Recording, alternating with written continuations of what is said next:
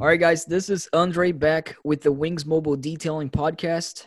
Today, I finally had a chance to interview and talk to, uh, share some ideas, and learn from him, Jordan Stupar. His owner, he has he has a, his own personal brand, owner of uh, Jordan Stupar Academy for sales training, and he's done business with multi-million dollar companies uh, where he he helps in the sales training process as well. And I've been following him since the beginning when he started his uh, his sales career, and I've on on Instagram, Graham, and glad to have you over, uh, Jordan Stupar. Glad to be on here, man. Thanks for uh, allowing me to jump on here and say hi to your audience.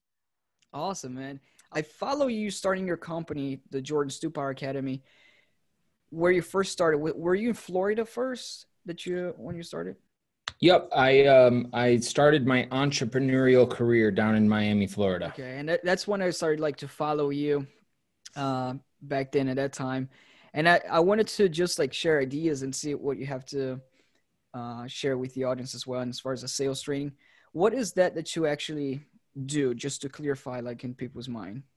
Yeah, so you know my main intention uh, with the business that I run right now is to uh, help improve and implement successful sales practices, uh, either with individual salespeople or, of course, with uh, small, medium, or large size businesses that are looking to increase uh, sales, uh, retention, reduce churn, so on and so forth. Um, you know, I've been involved now and, and started three businesses in the last three years. Uh, scaled one, sold uh, my SaaS company earlier this year so that I could focus almost completely on uh, the sales uh, development programs and the, the things that I like to do with other uh, organizations. So that's really my main focus right now. And of course, I do things uh, in person, virtually, like we're doing right now. And of course, um, I have a, a library of uh, exclusive content um, called Stupar Sales Academy. Awesome, man. Definitely want to get to that more, Jordan.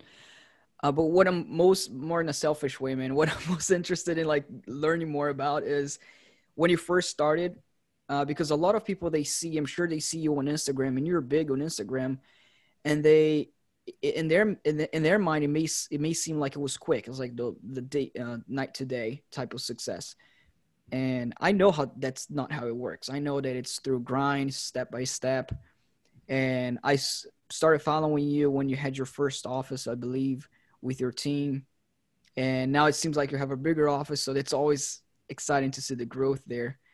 Um, but from the very beginning how did you where did you start? And if you can share some pitfalls or successful uh, days that you had that you can remember. Early on in my sales career? Early on yes. Yikes. Um, i mean my, my sales career goes all the way back to 2003 technically when i was still in high school. You know, during the summers you know i was always looking for stuff to do outside of just you know doing nothing and uh, ended up uh, selling some vacuum cleaners, some cutlery, so on and so forth. But um, I would say that, you know, my full time position as a salesperson really started um, right in college. You know, during summer break of freshman year, um, I was uh, recruit. Well, first I was fired from Chili's because I was working serving tables and you know making a couple of bucks that way. But I got fired because I d- didn't show up to work like four days in a row, just no call, no show. And, you know, obviously mm-hmm. there's only so many times you can do that before they give you the axe. So they fired me. I ended up on Craigslist and got a, a job selling alarm systems residentially, door to door. And, um, you know, right off the bat, you know, that was the first slap in the face, you know, just, um, you know, entering a sales career, going door to door, getting doors slammed in your face, people giving you objections, not interested, already have one, we don't care about it, go away you and um, you know it took me about two weeks two straight weeks of just you know really busting my ass you know trying to do as much as i could and and literally making no sales zero sales. I'm watching guys around me getting one sale two sale three sales every single day and i'm the guy that's like working. I'm putting in the work but i'm not getting it getting anything um, out of what i'm doing. And so um, that was pitfall number one you know and and it, if it wasn't for my mom you know, I probably would have just like given up. You know, I, I remember literally being on a street corner smoking a cigarette because that was the thing I like to do to avoid knocking doors. You know, I just mm-hmm. stand here on the corner, smoke a cigarette, and contemplate my life. And uh, I called my mom and I'm like, you know what? Just come pick me up. you know, I'm on the corner of, you know, fourth and whatever, you know, just I'm done. You know, like I'm throwing in the towel. And she said, I'm not getting in my car. I'm not coming to pick you up. And I will consider it, but you have to knock on one more door. And then she hung up on me, which is the most unlike my mother type of thing uh, uh-huh. that she would ever do. But but I think that she knew what was going to happen next. I hadn't learned it yet, what persistence actually was. And this was a very good lesson for me because, you know, literally the next door that I knocked, I didn't even have to knock on it. I saw a guy in the street working on his truck. He saw me and he's like, "Yo, man, come on, come on down here. You know, what are you what are you selling?" And I was like, "You know, I'm not really selling anything. I'm giving away some alarm systems." That was more or less the pitch. And uh, he ended up, you know, saying, "Dude, sign me up." You know, and he he walked me into his house. I ended up getting a deal. And it was uh, it was that moment that you know I had that big breakthrough of you know no sales, no sales, no sales, no sales, beating myself up, feeling absolutely terrible, you know, cursing my life out, wondering why I'm not getting success or, you know, whatever, to all of a sudden, boom, getting that deal. Yeah. And, and that was, you know, the heroin for me. Once I got that little dose of what that felt like, I've been addicted to, addicted to it ever since. Yeah. I think, I th- you, you know this more than I do, but it's funny. Uh, cause I do, as an uh, auto detailing company, you know, I, sometimes I sell my services to dealerships and I want to acquire their accounts. And a lot of times I just have to go in code and drive my car in the in the street and you know, I just stop by a dealership and there's always I, tell my guys, you always expect 10 no's. Not to expect, you don't want to get the 10 no's, you want to get 10 yeses, but be ready for the 10 no's before you get the yes. But every time I would personally drive to a dealership, the the one dealership that I would see the, that I would think for some reason, uh, I'm I'm gonna go pass through this one, and it happened many times where that one dealership that I wanted to pass through and I decided to actually go in, that's the one that sold uh, closed the deal. Yep. Has this ever? That's probably like how it happened to you. The one that when you were gonna stop, you were right there to stopping it, and then it was it, right. That was the moment that you had actually to have to go.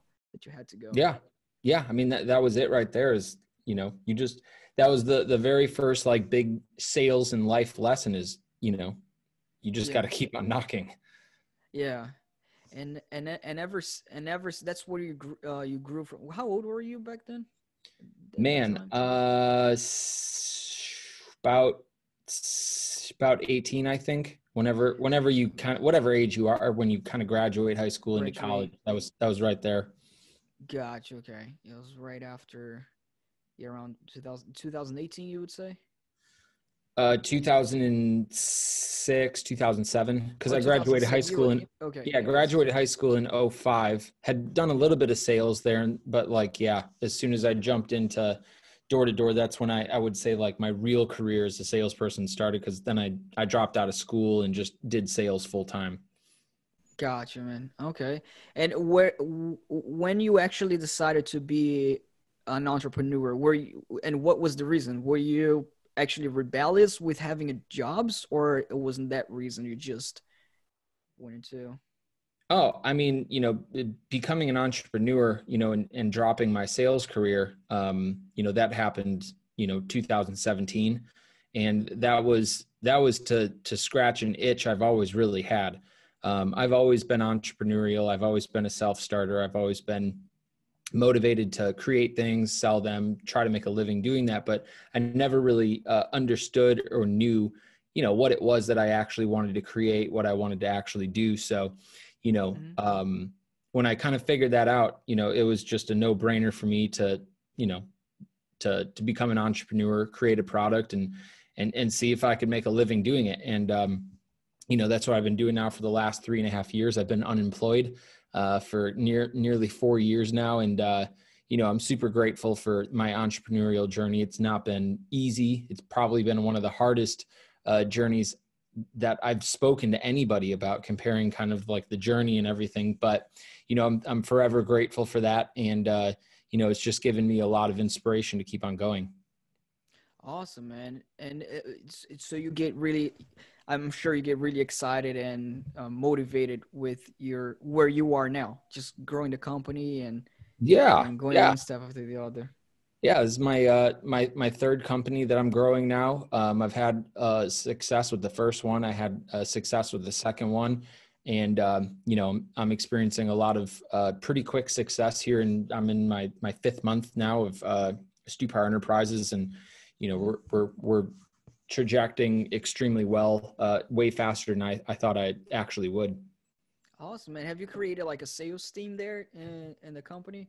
Yeah, so I'm actually hiring on my first couple of salespeople now next week, uh, right before Christmas. I'm getting them uh, set up. I've just been, um, you know, uh, with with the experience I've got now over the last couple of years, I've I've learned, you know, that processes, um, you know, policies, procedures, and, and really just setting the business up before getting all the sales and getting other people you know involved in the in the business. It's super important to make sure that you have all the things that you need so that when other people are wondering what to do or what process to follow or what's the procedure on this and how do you onboard that. And by the way when i get a contract where do i send it to?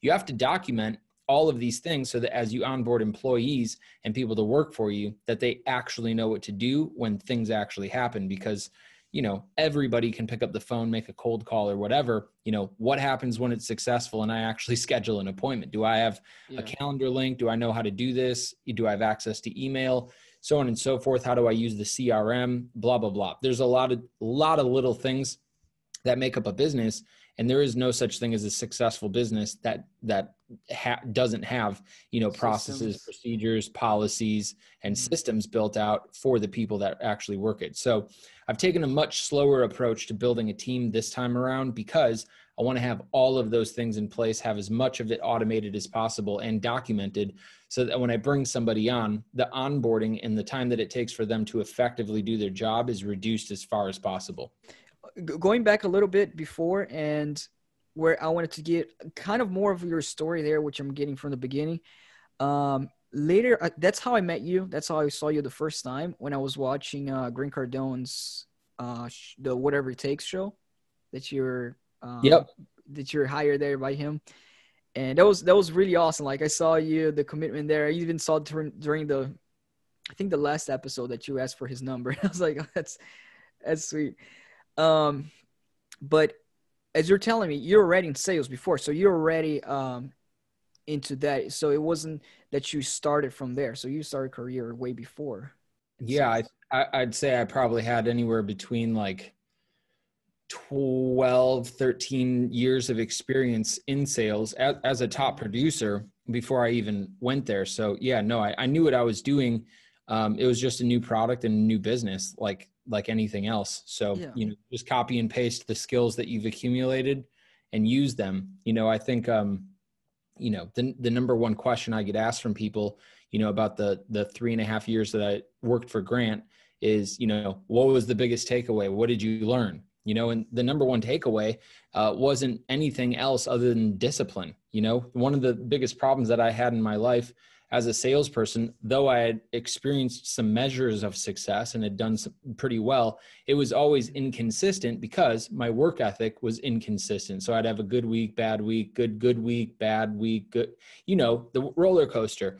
And, you know, the thing that I, I really took away there, you know, due to the culture that Grant put into place there is you show up every day, you know, no matter what, and you put in the work and you work hard. And while you're there, you utilize your time well and you know being thrown into that type of environment was exactly the last real missing piece of what i needed to have in order to set myself up for success. And so you know i also i also had a a, a bit of a moment right before um, grant's office. And the second most popular question i get about working for grant is you know had you um, had you work if you would have done anything else other than work there do you think that you would have experienced the amount of financial and professional success as you did at grant's office?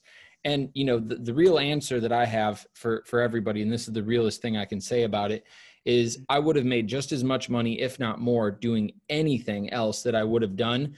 Um, had i not worked there or won that reality show or whatever um, i had you know i had a moment with myself in 2013, you know, that dude, I hated my life. I hated where I was at. And I had a, a true, you know, epiphany where I just looked out the window one day in New York City and just questioned my whole life. I was like, what am I doing here? You know, I had no family, no friends. Was I, I was the top salesperson at a Fortune 500 company on the phones, crushing it. But I had limited commissions, limited income. mm-hmm. just a horrible, you know, experience. I could talk about that for three hours straight if I wanted to give you the full story, but I won't bore you to death. And, you know, it was at that moment that literally, dude, my whole life changed. You know, nothing really changed. It's not like a Porsche just showed up on the street instead of my Nissan Maxima. And, you know, obviously that's just, it started right there where I made a, a decision and a commitment to change everything in my life. And then slowly everything changed. Gotcha. Yeah, I see you're a big car guy as well. I just, uh, I like cars. Yeah, I've I've seen that. It's a nice Porsche, by the way. Really nice.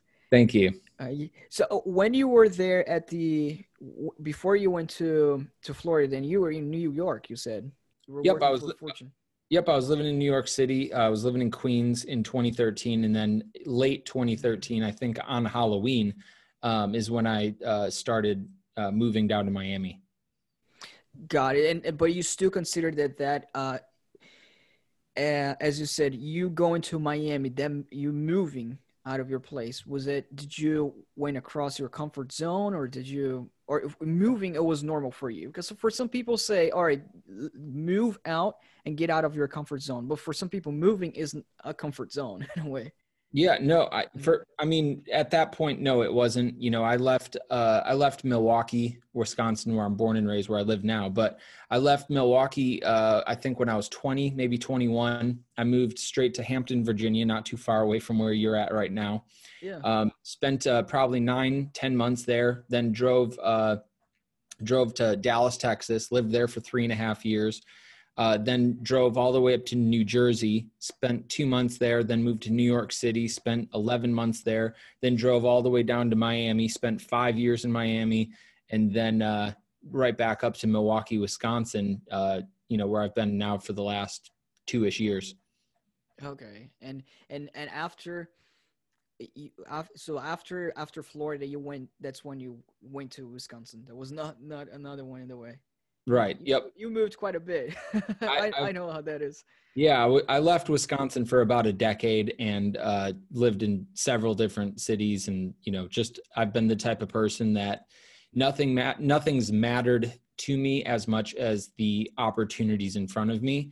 And if I can't find an opportunity where I'm at, or I don't like the opportunities where I'm at, um, you know, I move and um, you know that that that's the way I've always operated. And you know, it's not always been successful. You know, until you get successful, it's like move. Yeah, it's yeah. like the the door to door story. You know, you just keep on moving. You keep on doing what you need to do, and sooner or later, you'll experience the success and you know the things that you actually want out of it. Mm-hmm.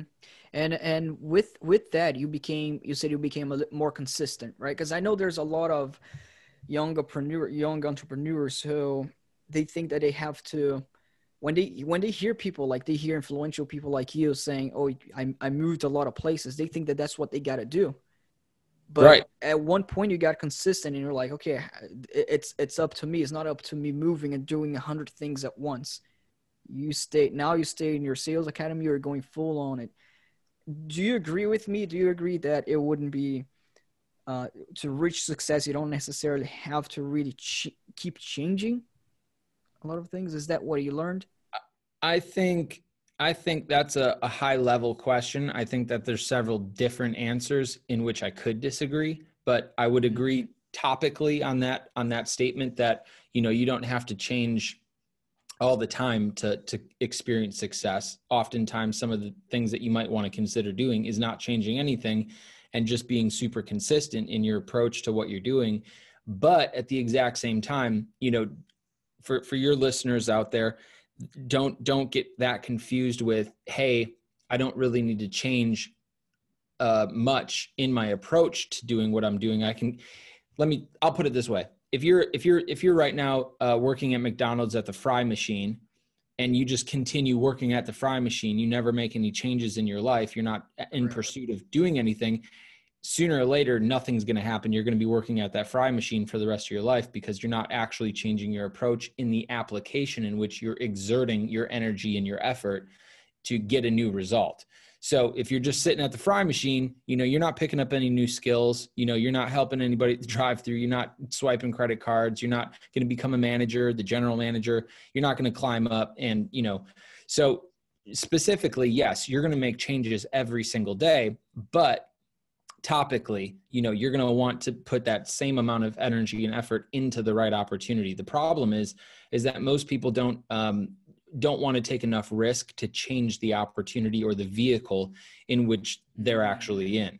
You know i'd knocked doors for eight years you know in different cities that i lived in and you know that was cool but i was never really changing who i was. Yeah i was growing up a little bit getting a little bit more mature here and there through my 20s like anybody else would but i wasn't really changing my work ethic. I wasn't really changing who i was.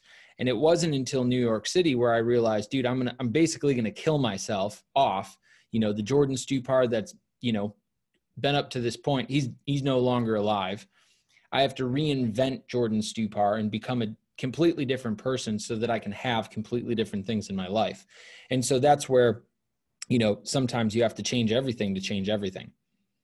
I was curious, going back a little bit there at uh, when you were at Grant Cardone's office, um, what was the, did you have any, any thing when you're getting into it that you expected, oh, I thought this was going to be this way, but it was a different way when you went there? Or did you, you already were mature enough to kind of know where you're getting into was part of the plan of your life to go uh, there? Uh, I had um, I had no idea what I was getting myself into. I had no idea. I had no idea what Grant even did. Um, literally, literally was sitting at my dead end job in New York City. Uh, this was after I decided to change everything in my life, and so I just started looking for opportunities. And so I was on Twitter and I, you know, I'd follow Grant because I'd been in sales a long time. I knew he was a sales guy. I'd never read any of his books, never been to one of his seminars, didn't know anything about this guy. I just figured, you know, dude, he's got more followers than I do and more money. So, you know, and I, I saw a tweet from, from, from him come through and that was, um, you know, I, I, was I was sitting at my desk and uh, I saw that tweet come through. I think it said something along the lines of, you know, send in a, a video on why we should have you on our reality TV show to get your dream job. And I was like, dream job? Like, it's better than this one. So, you know, I went home, recorded that video, sent it down. You know, a day or two later, like the producers got in touch with me. They're like, hey, you know, come on down. We'd love to have you on. Only caveat is you're buying your whole flight, your hotel, the whole experience. We're not putting up any money for this whatsoever. Um, and this is going to be, you know, about a four day thing here in Miami. And then when you're done, either you get the job and you'll figure that out with the company or you know you get sent back uh, to you know wherever you, you came from. So i didn't have enough money for a round trip flight from you know new york to miami but i had just an i'm talking like literally just enough points on my southwest account to grab round trip and i didn't have enough money for an actual hotel on south beach because god knows if you're you know know what miami is it's very expensive and i had no money so i stayed in a hostel and if you've never stayed in a hostel, don't do it. Um, it, it it's an insane uh, situation right there on South Beach. You know, staying in a hostel with like eight other people in bunk beds, like they're all partying. I'm here for a business interview, and um, you know, ended up winning that show. Everybody knows that. Um, I dominated that show, just crushed it, and um, you know, ended up getting that job. And like, you know, I got hired on, and you know, I put in my two weeks at in New York City and drove down and like on day one, like I was like, so am I selling like books? Like, like what am I? I had no idea. And so, you know, uh-huh. I, I just went down there with the idea that, dude, I'm going to make this work. It has to work because I've made this commitment to myself now to change my entire life. And this is the vehicle I've, I've ended up in. So, you know, let's make this work. And so that's kind of the, you know, the short story of how that thing got started. I admire that, man. That's all because you go into something that you you didn't get yourself stuck into the details. You just went for it. And yeah, it, pe- people that are detail oriented and that are you know overthinking about a salary, benefits, vacation time. Yeah. What city is it in? Are people going to like me? Am I going to like them? Am I going to really? Maybe I'll just sit back here and do what I'm already doing. Nothing could piss me off more than people that are having those thoughts and don't do anything about it because you know again like i mentioned i went down to grant's office had no idea who he was mm-hmm. had no idea what he sold had no idea how i was going to make money what my comp plan was my salary if i was going to get that literally nothing the only thing that i made is i made one decision and one commitment to say i'm going to change my entire life and if this is the vehicle or the opportunity in which you know i can do that then then voila, I'm going to sacrifice everything I've got going on. I'm going to head down south, go to Miami, and I'm going to absolutely crush this opportunity. And that is specifically what I did. You know, and for the people out there listening or watching this, like details don't matter. You know, the mm-hmm. only thing that matters is is what you do with the details. The details don't do anything themselves. So it doesn't matter about the details. Just go for it and make the commitment and the decision to to get out of this opportunity that you're looking at, what you want to get out of it. Because at the end of the day, you're the only person that can actually seize that opportunity and and and do something with it. Opportunities don't come to you you go to them. Yes. That's what i learned. Agree man that's awesome. And that that, that it seems like that's what sales itself you can uh, speak better than i can but sales itself that's what it is about. You just get that, get yourself yeah. out there as a first thought instant thought and you go for it. That's it you know? put blockages in a way yeah, you know when when a when a when a pitcher throws a fastball at 101 miles an hour and the batter's sitting there with you know with the bat, you know they don't hit the pause button on the ball to be like, okay, now is this thing gonna should I swing at this or not? Like you have to make it. You just have yeah. to make the decision. Like, does this look decent? Because if yes, I'm going to take a swing. You know, and you know, just way too many people want to hit the pause button. They want to think about stuff, mull it over. Like either you want it or you don't. So stop, yes. you know, stop mulling it over. That's not going to make anything, you know, better or worse. Again, you're the person has to take the opportunity and do something with it. So either you're going to do it or not. The opportunity doesn't even matter itself.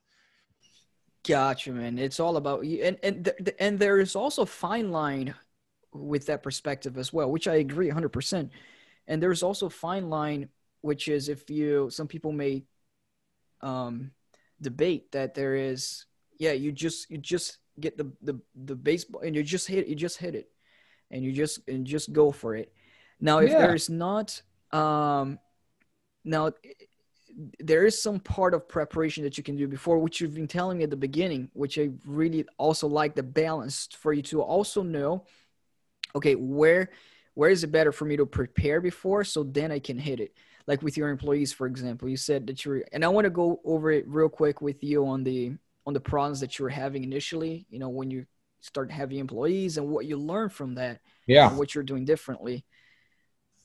Uh do you think that there there was where what, what what's the fine line? What's the balance that you're like oh i have to prepare for for it or it's time for me to just go for it and learn it along the way just um, yeah, I, I look at I look at work, I look at sales, I look at business. Um, very similar to any how any athlete would end up looking at you know going and playing a game. You know, like you know the game is going to start at seven o'clock on on on Sunday night. You're a football team, like you know you have to be there. You got to get dressed up. You got to be wearing your stuff, and you know you're going to take the field. Like it's not like oh hey you know what real quick I need to watch the game film one more time. Like everybody's going to be on the field. It's game time.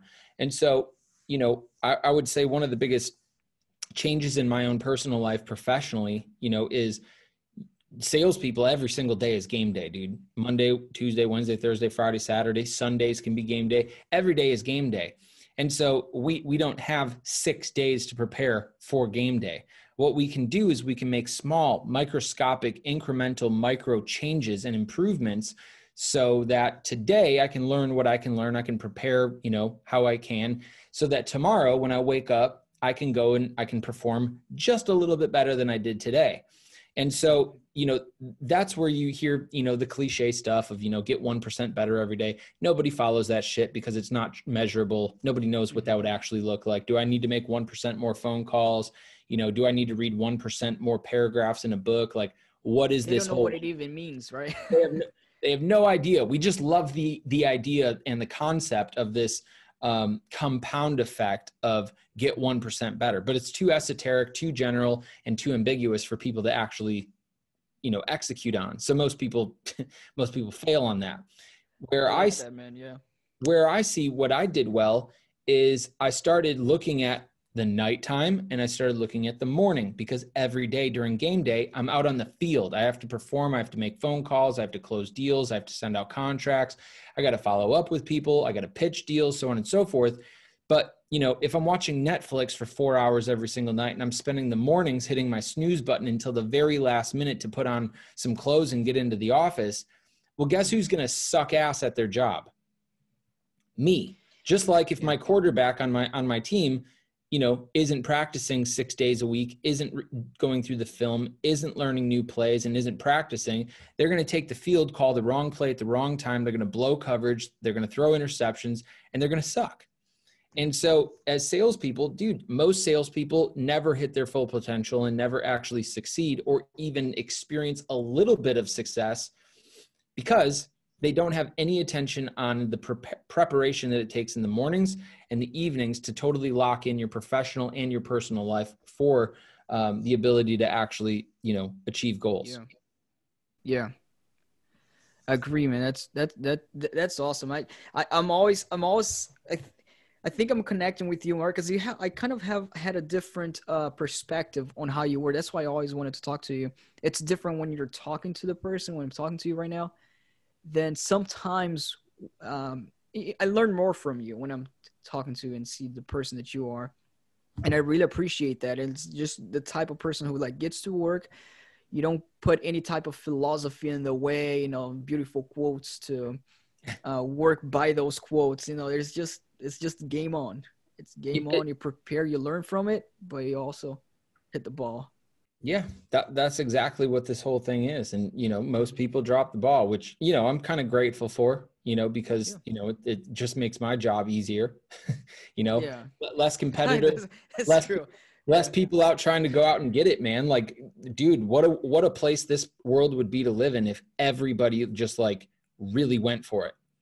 you know, like dude can you imagine like how amazing of a world it would be if everybody just you know like worked hard you know like studied the world would be such a different place man if everybody just freaking went for it full force stopped mm-hmm. making excuses and just like just did it you know like man can you imagine where like apple would actually be if every single employee in their company just from a, a singular unified approach said dude we're, we're maxing out all execution.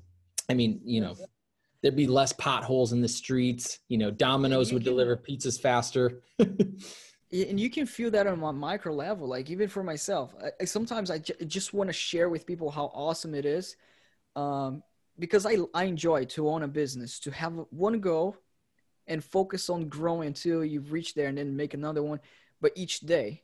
And if people realize, just like you said, if people were to everybody, they'll live a, live a happier life. I know that for sure.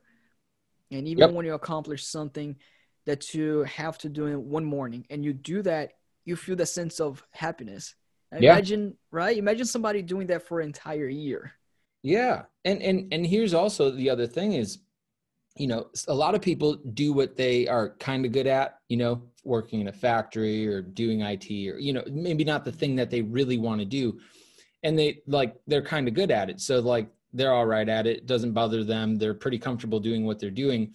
Most people don't understand that doing what you're kind of good at doing on repeat and not doing the thing that you actually want to do badly.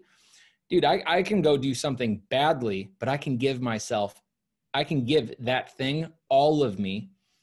And even if I don't get the result that I'm looking for, I don't feel successful or I don't get that deal or you know whatever it is I'm trying to do, if I know that I tried really hard, I can go to bed happy as hell, dude, knowing that I actually tried really hard and that I'm like that work is going to pay off if I continue to do it. So, you know, again, anybody else that's listening, you're going to feel happier about your life being a failure doing the things that you actually want to do because you know every single failure is just a little notch in the belt. It's just another rung in the ladder for you to get to where you actually want to go versus feeling unfulfilled, but getting a little bit of what you want. I'd rather get everything that I want, fail for years on my way to go get that thing, but I'll, I'll still feel fulfilled because I know I'm on my path doing things my way. And I know, dude, sooner or later, the ladder is going to stop and I'm going to be at the top. And that's yeah. just like that's the, that's what pushes me along and has made me a happy ass mofo my entire life. is dude, I, yeah. I I know where I'm going. And and living life with no regrets. And by that I mean um if we if we set something to do in the morning that we know we got to do to grow to feel better even we we do that and we're not going to feel regrets in the afternoon but but if we don't do that certain thing that we know we have to do we're going to we're going to have regret in the afternoon. It's just inevitable. Yeah. And i think that's the that's the thing of living without regrets is when you know you're working you're maybe you have failed many times. Maybe we we and still there's a lot of times that we're going to fail still but because we did it we know that the end result is always going to be success uh, in, in each one's own terms of success. Those are facts. Yeah. Awesome, man. Jordan, and one one more quick thing, man. I know we have a lot of a lot of stuff to do. um, what is where are you going with the company now? Like, what's your what, what's your goal, and what have you learned, and what are the things that you can think, if you can think of, that you're like, okay, I'm gonna avoid doing this. Any any mistakes that you committed that you're not that, that you improved on? Um, you know, uh, mistakes that I've made in business that I will avoid doing in the future is uh, number one is is partnerships. I think in business it can be a very attractive proposition for somebody that you like or admire or are friends with to go into business with one another uh, uh, with the excitement and the enthusiasm of, dude, yeah, we're partnering up for a business. But business has a unique way of taking um, a magnifying glass to the sunshine of entrepreneurship and just frying the shit out of whoever's underneath that magnifying glass if expectations aren't actually set up, if policies, procedures, and processes aren't defined. Um, I've I've had some very poor business partnerships uh, in the past that didn't end very well uh, with people that I, I actually like based on the fact that there wasn't expectations there wasn't certain things set up. So you know i've become a very transactional person and you know employees uh, business partners managers people i'm going to be hiring and bringing into my business you know it's going to be extremely transactional non-emotional. I'm not here to be friends with these people um, i'm here to do good business and rely on them to do their job which is of course going to be detailed out in the expectations. And you know i've learned that in business and in sales you know whether you're a customer or you're a salesperson or a manager a vp an executive a, a business owner whatever is the only problems you're really ever going to have with people is when expectations aren't clearly defined. Because if expectations are clearly defined and i know that you know, when Andre shows up to my office and he knows that he has to make 150 phone calls as the effort and he knows what his quota is for the month as far as revenue, if you don't hit that, then we can sit down and we can chat about your approach or whatever.